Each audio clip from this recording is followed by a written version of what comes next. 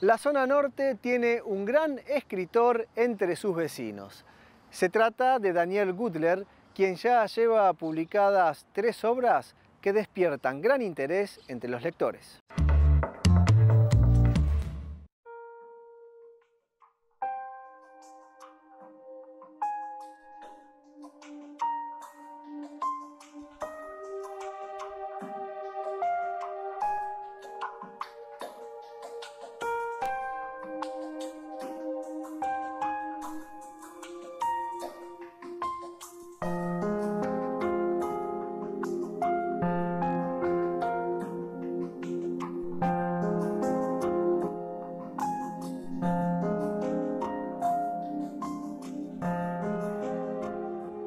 Bueno, como es habitual en este programa, vamos presentándole a todos ustedes, a los vecinos de la zona norte que se destacan por alguna actividad. Y hoy estamos con Daniel Gutler, vecino de San Fernando, ¿no, Daniel? Sí, sí, un gusto. Hola, Tomás. Hola. Eh, sí, vecino de San Fernando, de zona norte. Bueno, estamos acá con un nuevo libro. Pregunté si era de San Fernando porque él anda por toda la zona norte, entonces no sabía si eras nacido de San Fernando, pero anda por toda la zona norte presentando sus libros. Daniel es escritor y estamos en la boutique del libro, aquí estaría tan conocida que hay en, zona norte, sobre todo en Unicerte, donde estamos ahora. Y en esta nota vamos a hablar un poco de Daniel, un poco de su trayectoria como escritor. Daniel, contanos un poco cuándo te nace esta pasión por la escritura. Eh, bueno, creo que nació conmigo la pasión por la escritura. Eh, ya cuando era muy chiquito, que me preguntaban qué vas a hacer cuando seas grande, yo contestaba escritor, cuando por ahí todavía no sabía, prácticamente no sabía escribir.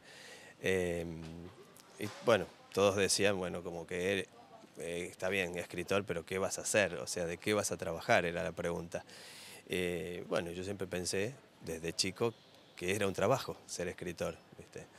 Así que bueno, se puede decir que empecé a escribir ya de muy jovencito. Eh, cuando tenía, era adolescente o, joven de 20 años, empecé escribiendo cuentos y novelas así, tipo de ficción o cómics. Así que bueno, así, así se inició, digamos, mi, actividad literaria. Hasta que llegó, me imagino, el momento en cual, el momento soñado de todo escritor, ¿no? Presentar su primer libro. Eh, sí, sí, sí, fue cuando, ya de adulto eso. Eh, decidí, decidí escribir una novela, eh, una novela toda completa, ya más en vez de un cuento, tirarme una novela. La hice, la llevé a una correctora, la hice corregir y me dijo que tenía todo, o sea, todas las características para una novela y para triunfar como, como novela. Eh, y ahí fue cuando publiqué mi primer libro en el año 2011, fue eso. ¿Cuál fue el nombre o cuál es el nombre de la novela? Eh, ese es un thriller y se llama Salmo 91, La ira de Dios.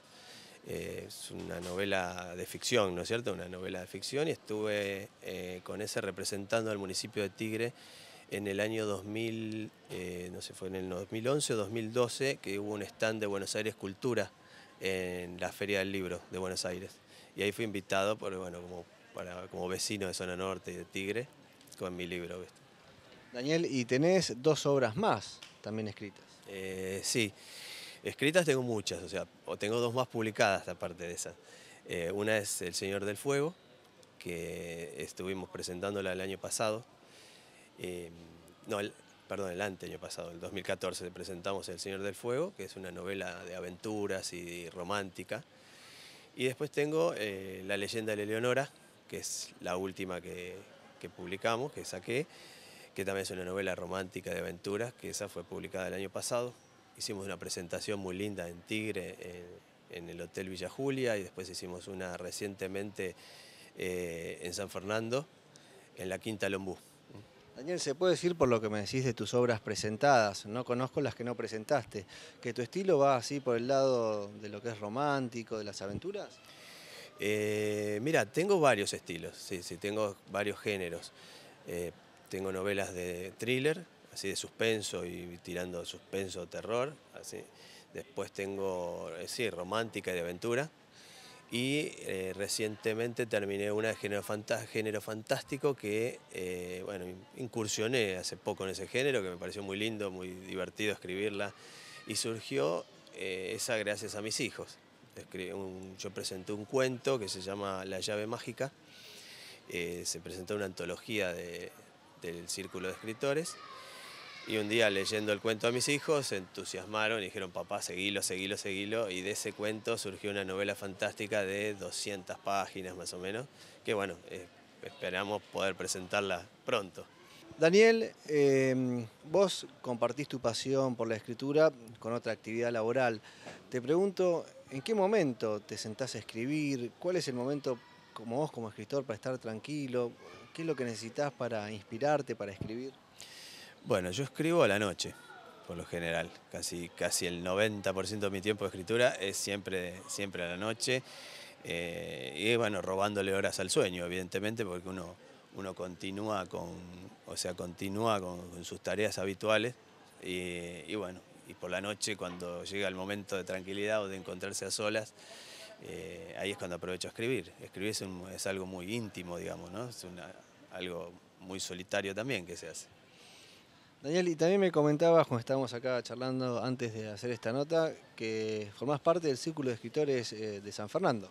Eh, sí, actualmente presido el Círculo de Escritores de San Fernando.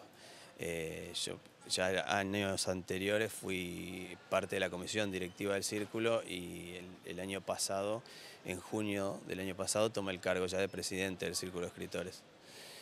Bien, y como para ir ya terminando la nota, Daniel, te voy a preguntar, cuando uno escribe, cuando uno lleva adelante cualquier actividad, no lo hace solo. A veces hay que agradecerle ¿no? a ciertas personas, a ciertos lugares que te permiten llevar adelante tu pasión. En este caso, ¿a quién tendríamos que agradecer un poco tu pasión por la escritura? Eh, bueno, muchísima gente. Eh, empezando por mi correctora, mi primer correctora, que bueno, ya no está entre nosotros, Rachel Vivas, que ella fue una persona que se podría decir como que me, sí, se podría decir me descubrió o, que hizo que yo me, descubra a mí mismo. Fue la persona que me dio eh, seguridad en lo que estaba haciendo. Eh, después, bueno, la correctora actual también, Lilian Doyle, eh, muchos compañeros, lugares donde he hecho presentaciones, como bueno, bueno en Villa Julia, que hice, vos estuviste, hice una presentación, después el municipio de San Fernando también, no sé, de la Quinta Lombúa, hice una presentación muy linda que eh, cuando que se hizo todo, bueno, eh, con el servicio, ¿no es cierto?, prestado del lugar y todo del, a cargo del municipio. Eh, bueno, las librerías también, que nos, ceden el lugar para hacer las notas, acá estamos haciendo acá en Unicenter, en la boutique del libro.